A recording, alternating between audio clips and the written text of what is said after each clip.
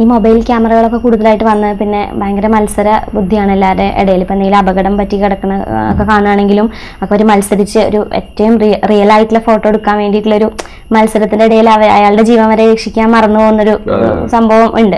ഇതെങ്ങനെയാണ് സാർ ഇങ്ങനെ ഈ മൊബൈൽ ക്യാമറകളൊക്കെ വന്നത് ദോഷമായിട്ട് ബാധിക്കുന്നില്ലേ? ചില രീതിയിലെങ്കിലും? ഉണ്ട്. ചില രീതിയിലെങ്കിലും ബാധിക്കുന്നുണ്ട്. പലരും നമ്മ- നമ്മളോട് പറയാറുണ്ട് ഇങ്ങനെ ഉള്ള ഈ പറഞ്ഞ പോലെ അപകടങ്ങൾ സംഭവിക്കുന്നിടത്തൊക്കെ.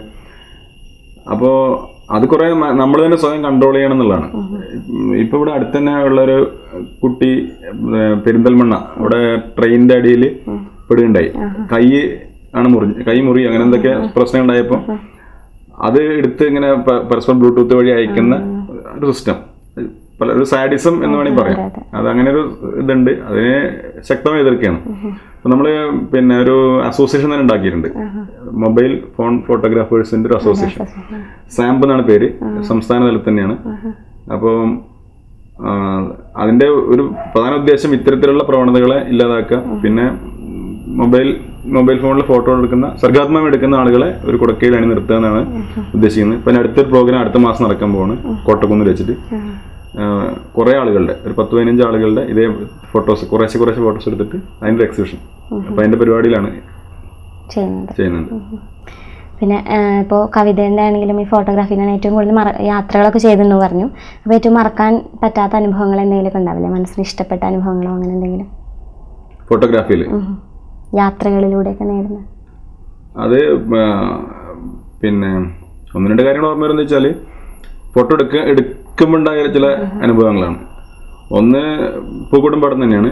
പൂക്കുടുംപാടുന്ന് പിന്നെ ഞാനും എന്റെ സുഹൃത്തുകൊണ്ട് ബൈക്കിൽ പോയിരുന്നു. മുന്നിൽ ഒരു M I T M I ടിയിൽ ഒരു ആൾ ഇരിക്കുന്നുണ്ട്. അയാൾ പോകുന്നു അയാളുടെ പുറകിൽ ഒരു പുല്ലും കെട്ടുണ്ട് ആ പുല്ലും കെട്ടിന് മുകളിലാണ് അദ്ദേഹത്തിന്റെ ഭാര്യ ഇരിക്കുന്നത്. അതൊരു വ്യത്യസ്തമായ കാഴ്ചയായിരുന്നു. അപ്പോൾ പിന്നെ അയാളെ പിന്നാലെ പോയി. വണ്ടി നിർത്താൻ കഴിയില്ല. വണ്ടി നിർത്തി കഴിഞ്ഞവരും പോയിക്കൊണ്ടിരിക്കുകയാണല്ലോ മൂവ് ചെയ്തോണ്ടിരിക്കണം അപ്പോൾ വണ്ടി ഇങ്ങനെ ഫസ്റ്റ് സെക്കൻഡ് ഗിയറിലേക്ക് ഇട്ട് അങ്ങനെ അഡ്ജസ്റ്റ് ചെയ്ത് പോയിട്ട് മൂന്ന് സ്നാപ്പ് എടുത്തു. അതിൽ ഈ സ്ത്രീ കണ്ടു. ഫോട്ടോ എടുക്കണം. ഫോട്ടോ എടുക്കണം. എല്ലാവർക്കും അറിയില്ല ഇപ്പൊ മൊബൈലിൽ ഫോട്ടോ എടുക്കണം. ഫോട്ടോ എടുക്കണം എന്ന് പറഞ്ഞു അവനെ അടിച്ചു വിട്ടു. നിർത്തിയില്ല. അവരെ അപ്പൊ തന്നെ ജസ്റ്റ് ആ ഈ ഫോട്ടോ എടുക്കലും അവർ ഇങ്ങനെ ക്രോസ് ചെയ്ത് പോലും ഒപ്പാണ്. ഫോട്ടോഗ്രാഫി എന്ന് പറഞ്ഞാൽ ലക്കും ദൈവാനുഗ്രഹമാണ്. ഒരു സെക്കൻഡിലേക്ക് ഇട്ടു ആ. ഒരു ഒരു സെക്കൻഡ് കഴിഞ്ഞാൽ ചിലപ്പോ പലതും മിസ്സായി പോകും. ഇപ്പോൾ പിന്നെ കോഴിക്കോട് നിന്ന് ഒരിക്കൽ ഒന്ന് രണ്ട് ഫോട്ടോ എടുക്കാൻ പറ്റാതെ പോയി എനിക്ക്. അത് പിന്നെ ഇങ്ങനെ മനസ്സിലൊരു ഓർമ്മയാണ്. പിന്നെ കോഴിക്കോട് നിന്ന് ടൗൺ ഇങ്ങനെ ക്രോസ് ചെയ്യായിരുന്നു അപ്പോൾ ഒരു ട്രാഫിക് പോലീസുകാരൻ അദ്ദേഹം അദ്ദേഹം റോഡ് നടക്കുകയാണ് യൂണിഫോമിൽ തന്നെയാണ്. അപ്പോൾ ഒരാൾ ഒരാളും അയാളുടെ ഭാര്യയും ബൈക്കിൽ വന്നിങ്ങനെ നിന്നു അവർ സംസാരിച്ചുകൊണ്ടിരിക്കുക ഈ റോഡ് നടക്കുക ട്രാഫിക് നിയന്ത്രിക്കേണ്ട ആളാണ്. പക്ഷെ എനിക്ക് ഈ തിരക്കിനിടയ്ക്ക് എടുക്കാൻ പറ്റിയില്ല. ശരിക്കും അതിന് അടിക്കുറിപ്പൊന്നും വേണ്ട. അത് കാണിച്ചു കൊടുത്താൽ തന്നെ വളരെ കറക്റ്റാണ് അങ്ങനെ ഒന്ന് രണ്ട് ഫോട്ടോസ് എടുക്കാൻ പറ്റാതെ പോയ ഓർമ്മകളുണ്ട്. ഇപ്പോൾ ഡിജിറ്റൽ ക്യാമറ ഡിജിറ്റൽ ഫോട്ടോസ് ഒക്കെ ഒരുപാട് കൂടുതലായിട്ട് വരുന്നുണ്ട് ഇപ്പോൾ അപ്പോൾ എങ്ങനെയാണ് ആ പഴയൊരു പഴയ ഒരു നമ്മൾ ഫോട്ടോ എടുക്കുമ്പോൾ ആ ഡിജിറ്റൽ ഫോട്ടോസും പഴയ ആ ഫോട്ടോ ഫിലിം ഫോട്ടോസും തമ്മിലുള്ള ഡിഫറൻസ് എത്രത്തോളം ഉണ്ടെന്ന് തോന്നുന്നുണ്ടോ? ക്ലാരിറ്റിയിൽ ചെറിയ മാറ്റങ്ങൾ അനുഭവപ്പെടാറുണ്ട്. കുറച്ചും കൂടി പിന്നെ ഇപ്പൊ ഈ നമ്മളെ സാധാരണ ടി വിയും എൽ സി ഡി ടി വിയും ഒരു ചേഞ്ച് ഉണ്ടല്ലോ. ക്ലിയർ ആയിട്ട് തോന്നും പക്ഷെ ശരിക്കും അതിന്റെ ഒരു ഒറിജിനാലിറ്റി ഫീൽ ചെയ്യുന്നില്ല. അങ്ങനെ ഒരു വ്യത്യാസം തോന്നിയിട്ടുണ്ട്. എന്നാലും നമുക്ക് എന്താ പറയാ കുറച്ചുകൂടി എളുപ്പമാണ്. മറ്റെന്താ വെച്ചാൽ നമ്മൾ ക്ലിക്ക് ചെയ്ത് കഴിഞ്ഞാൽ കിട്ടിയിട്ടുണ്ടോ എന്ന് അറിയില്ല അത് പോയി നോക്കണം. കഴുകിച്ചു കഴിഞ്ഞാൽ അറിയുള്ളൂ. ഇത് അപ്പൊ നമുക്ക് റിസൾട്ട് റിസൾട്ട് അപ്പൊ തന്നെ അറിയാം.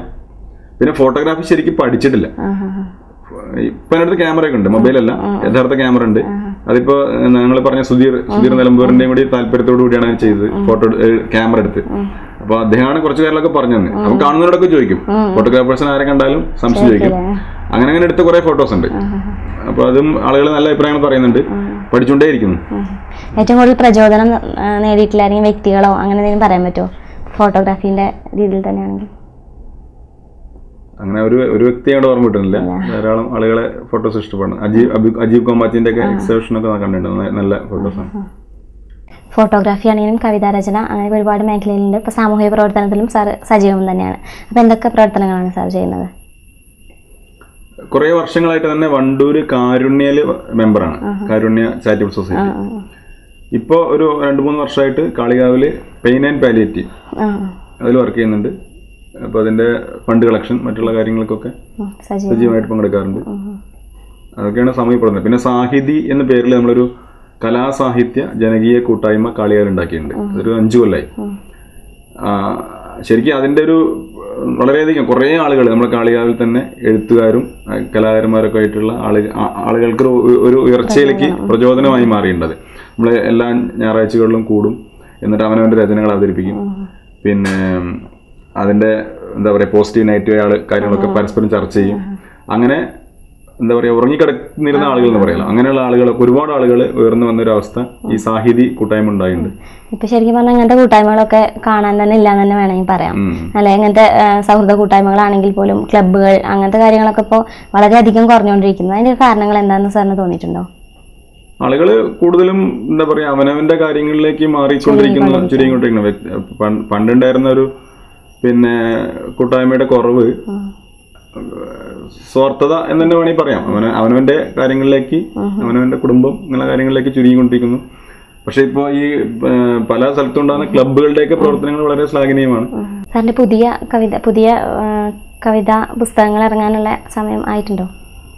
ആ അടുത്ത മാസമായിട്ടൊരു പുസ്തകം ഇറങ്ങാൻ പണിപ്പുരയിലാണ്.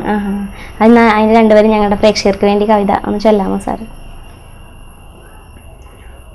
ഇത് അക്ഷര കാർട്ടൂൺ എന്ന പേരിൽ ഒരു പുസ്തകമാണ് ഇറങ്ങാൻ പോകുന്നത്. പുതിയൊരു മേഖലയായിട്ടാണ്. ചുരുങ്ങിയ വാക്കുകളിൽ പിന്നെ ഒരു കാർട്ടൂണിന്റെ ഫലം ചെയ്യുന്ന രചനകൾ.